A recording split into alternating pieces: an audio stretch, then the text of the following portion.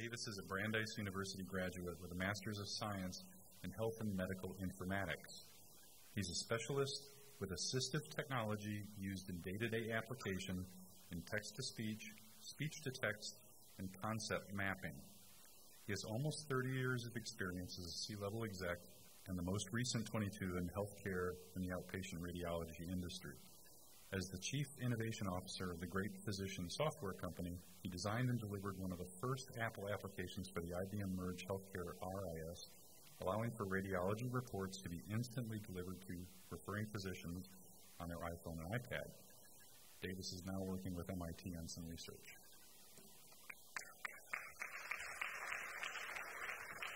Hey, Norm, it's actually the one without the four. So um, what I want to do is, first of all, everybody just stand up. Get that blood going back down to your to your legs. Boys, stretch up, stretch out. What an awesome time. First of all, I want to thank Stan and Sarah and Norman. Um, there's no cloud without infrastructure. And uh, you all are certainly the infrastructure that allows us to, to operate. So, all right, I'm going to start. Um, next slide.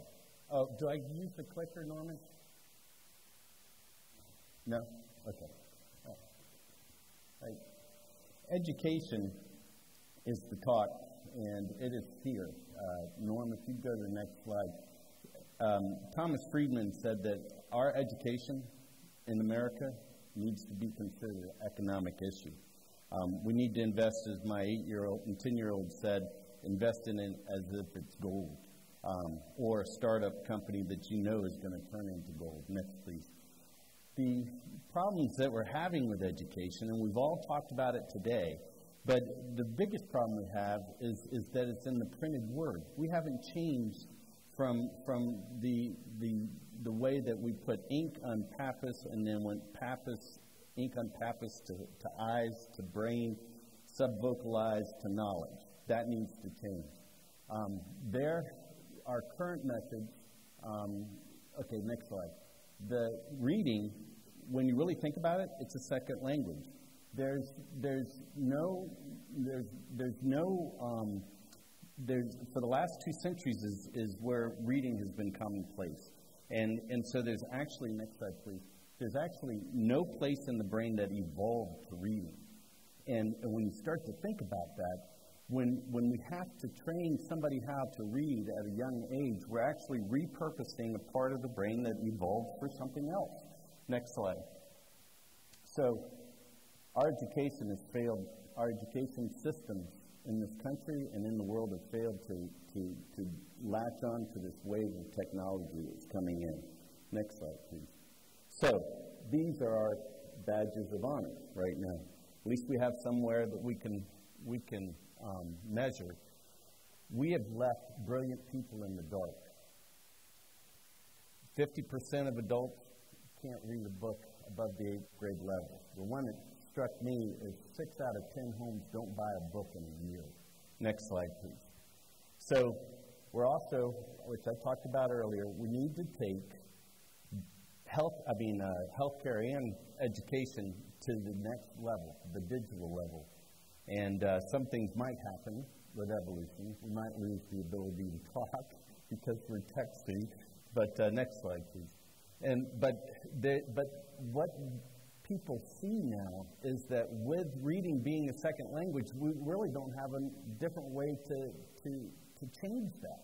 If reading, if our education system's based off of reading and writing, then, then and, and that person can't read or that person can't write, as the previous slide showed, then, then we're leaving people in the dark.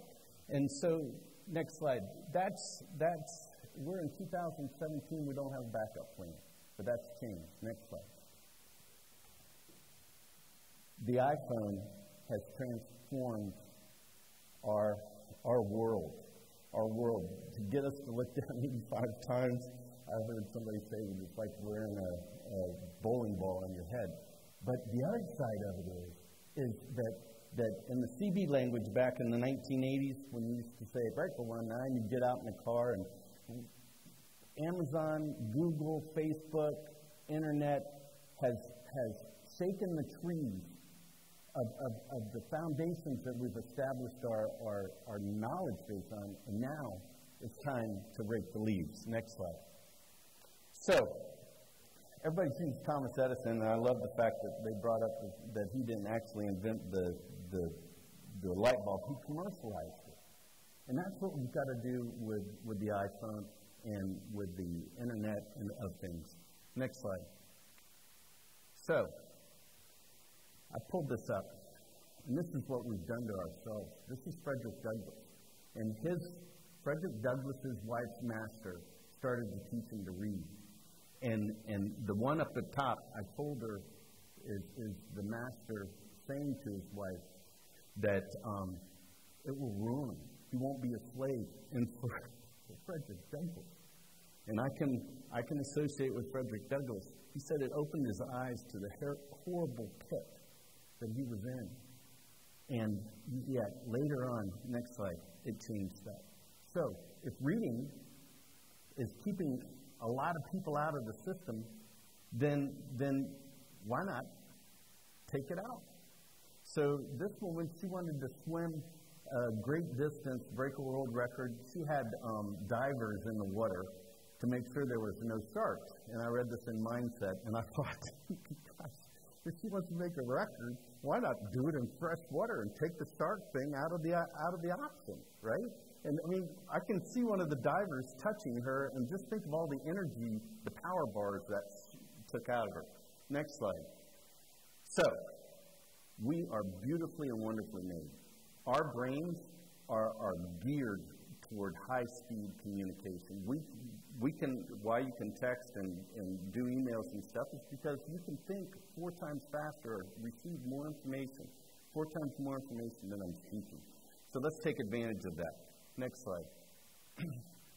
we actually can listen up to 600 words a minute. And somebody told me the other day, is that why they have that little clip at the end of a, of a drug commercial or something? I said, yes, that's exactly right. Next slide.